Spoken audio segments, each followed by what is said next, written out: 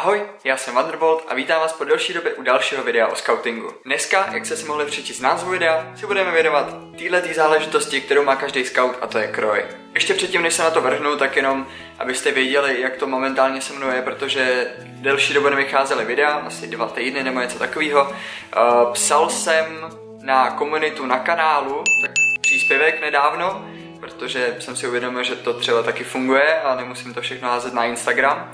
Takže když tak občas čekujte tu komunitu, taky tam občas začnu něco psát, když třeba nebudu stíhat.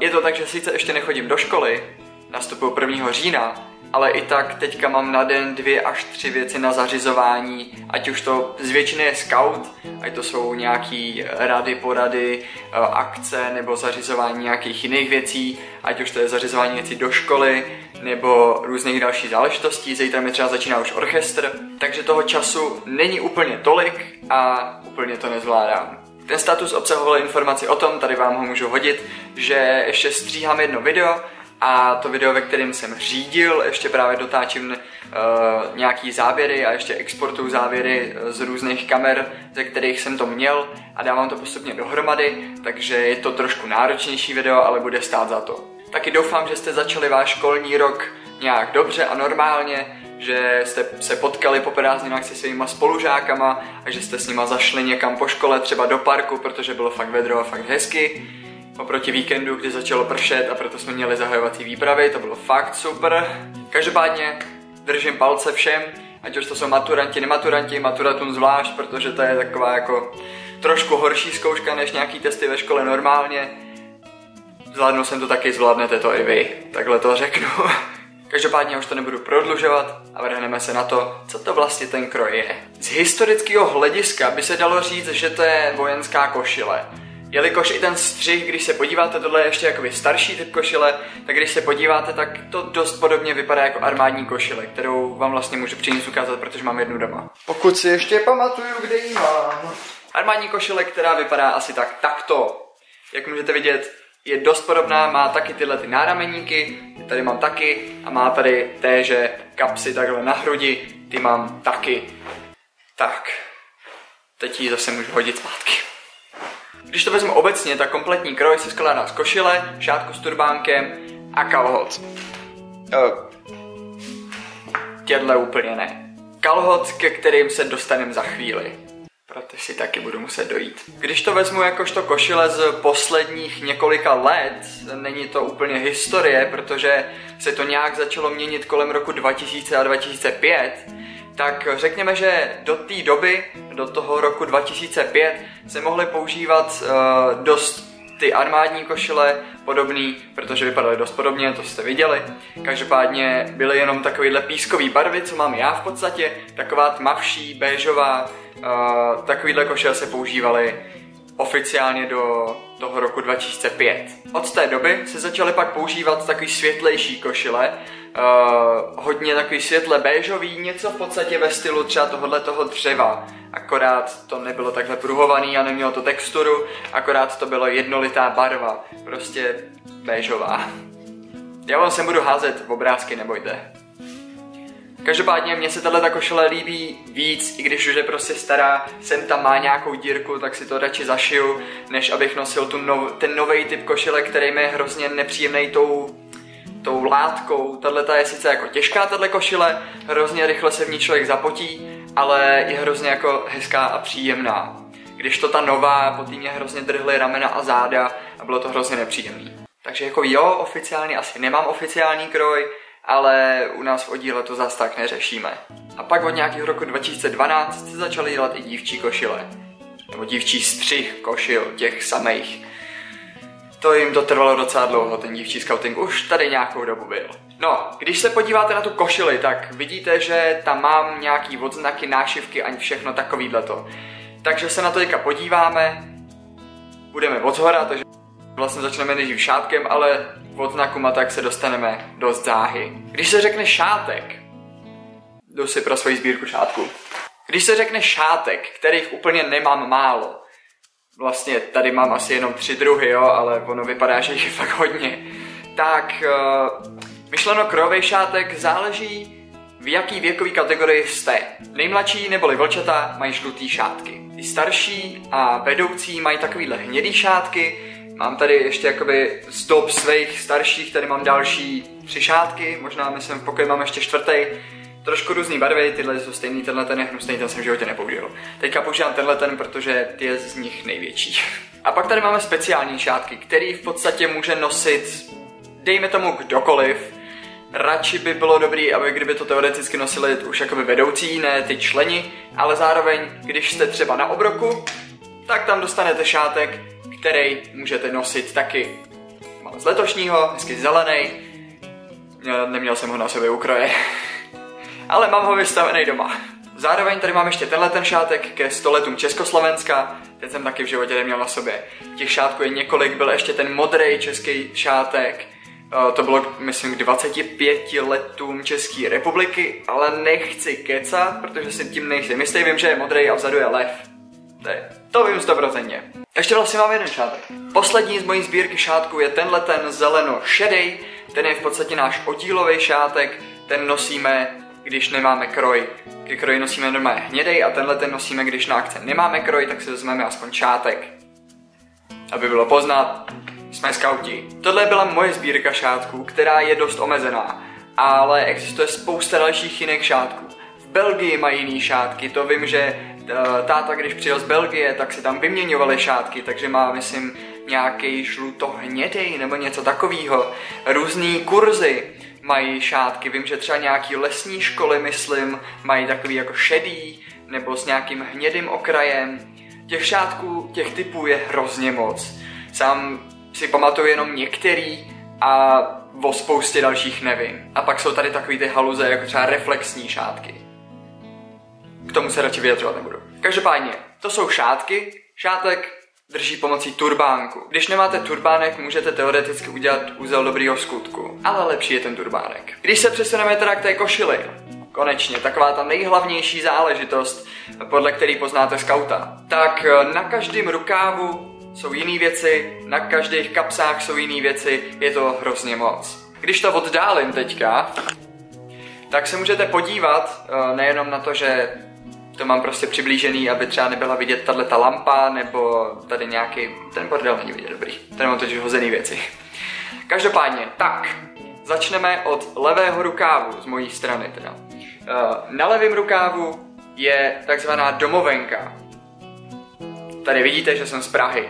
To už jsem několikrát říkal a bylo to i vidět. Pod tím je číslo oddílu, který z osobních údajů, řekněme, nebudu ukazovat. Pokud ho víte, tak to prosím nikam nešiřte. Vemte to, že to je v podstatě moje soukromí, jo? Takže, abychom mezi náma. Dál na levém rukávu mají některé oddíly odznak toho, jaká to je například družina. Že to jsou třeba sovy, vidry, gazely, je, jezevci. Takže mají takový odznáčky. Co já tam ještě mám mít a nemám, je tohle. Jelikož jsem hlavní vedoucí, tak bych to měl mít ještě tady. A vlastně proč si to tam aspoň teďka na chvíli nedat, než se to tam přišiju.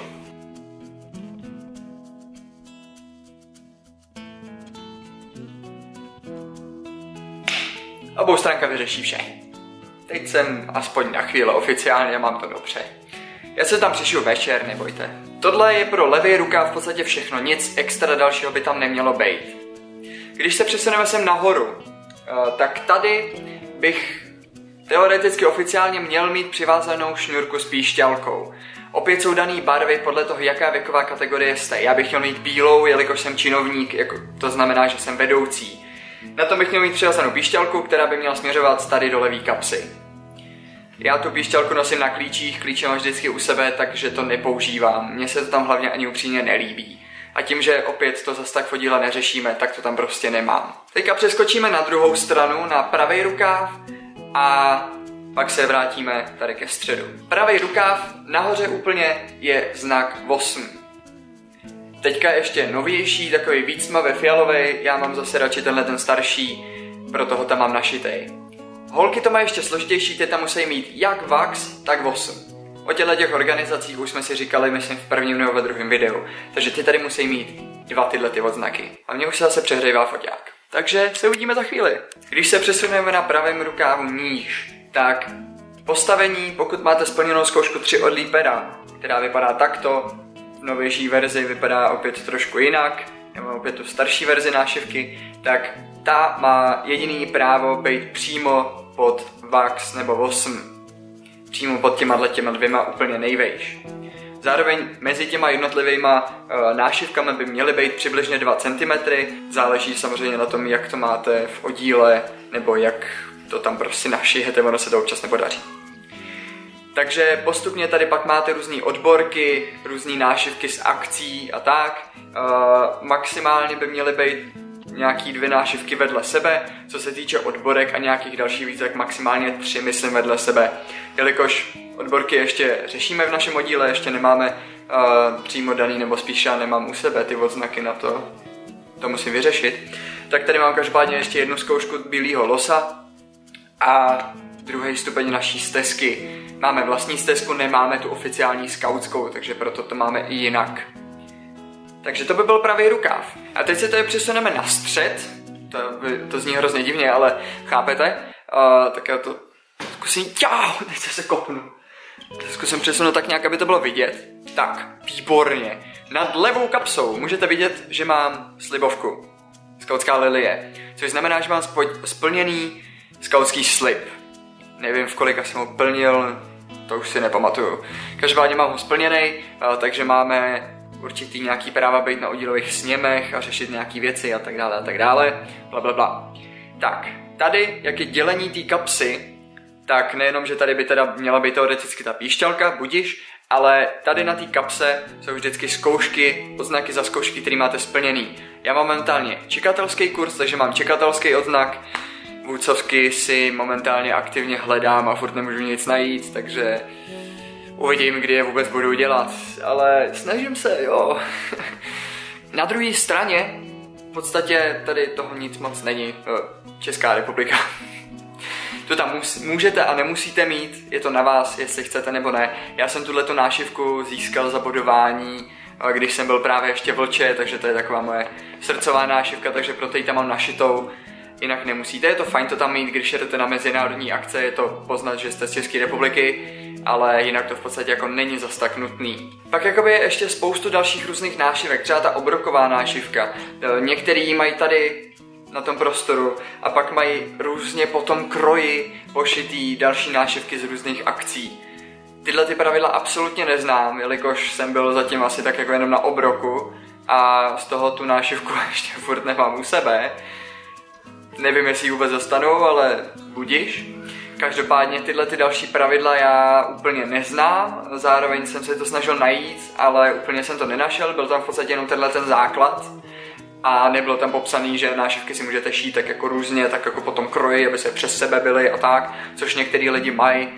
Ten kroj už tak nevypadá hezky podle mě. Jakoby za mě tohle je úplně ideální, není toho tam moc, je toho tam tak jako akorát, možná ještě nějaká jedna, dvě nášivky jako nějakých akcí by se šikly, víte to, ale úplně mi to naprosto stačí. Jak jsem říkal, přesuneme se ke kalhotům a kraťasům. Já už jsem si je přines mezi tím, co vychladnul foťák, uh, takže co se týče kalhot, tak uh, pro pěší, ještě se pak dostanu k vodním, ty to mají trošku jinak samozřejmě, pro pěší uh, mají kalhoty přibližně, no samozřejmě dlouhé kalhoty, ale barvu, já jsem se snažil najít právě podobnou k té košili, já tyhle ty už mám nějakou dobu, takže to jsou ještě jakoby k té staré košile, nebo k té oficiální košili v podstatě, ne, měl jsem ještě jinou starou vlastně mezi tím. A ta byla právě skoro stejná barva jako tato.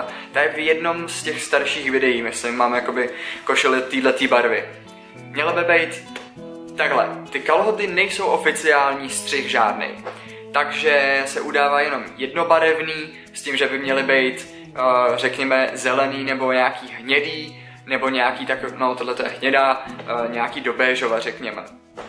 Co se týče kraťasů právě na léto, tak uh, jsem si koupil právě tyhle ty, takovýhle béžový, což jsou právě jako k té nový krojovce úplně ideální, to je skoro stejná barva. No, to jsem mohl vlastně ukázat, nová krojovka má asi tak takovouhle barvu, uh, ale častěji používám tmavě hnědý, jako tenhle ten šátek, plus minus. Jinak opět zelený nebo hnědý, nebo spíš tyhle ty béžový. Co se týče bot, tak ještě kdybychom měli oficiální boty, ještě že nemáme, co u nás v oddíle říkáme, tak bo, ke kroj, boty ke kroji, ne, jsem se zamotal, tak jenom pohorky a je, nebo jenom sandály. Nic jiného, žádný holinky, nic takového, to vypadá hrozně a je to nepoužitelný, řekněme, když se třeba někam jde. Zmiňoval jsem vodní skauty. Ty to mají jiný hlavně z toho hlediska, že košily a kalhoty mají tmavě modrý.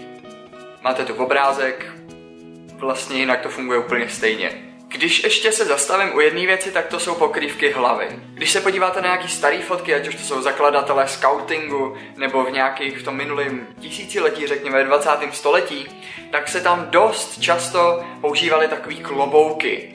Já bohužel žádný takovýhle doma nemám, vím, že kamarádi mají třeba doma takovýhle klobouk, ale uh, ty už se tak jako moc dneska nenosej. Co jsem třeba viděl, tak některé oddíly mají své vlastní barety, to jeden kamarád chodí do oddílu, kde mají barety, ale jinak jako oficiální pokrývka hlavy není, každý buď si ten oddíl určí nějakou, a nebo si můžete koupit třeba merch skautský, který vypadá asi tak, takhle.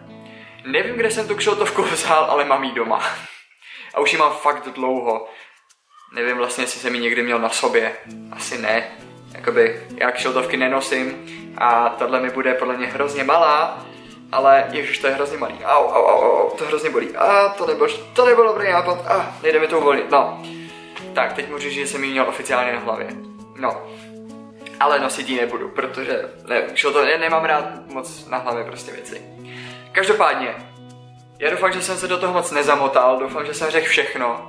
Zajímá mě, jaký třeba vy pravidla máte v oddíle v podstatě, nebo jaký, jak se lišíte od třeba mýho kroje, jiných krojů, oficiálního kroje, když to tak řeknu.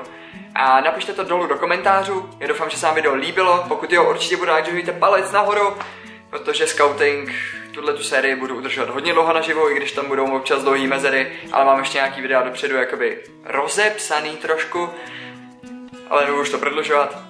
Doufám, že se video líbilo, pokud mě neznáte, hoďte odběr, zvoneček, Instagram, všechno znáte, všechno víte, komentáře, like, bla, bla, bla. Mně se zase přehřejívá foťák, takže už ho nechci trápit. Mějte se hezky, uvidíme se u dalšího videa a adios.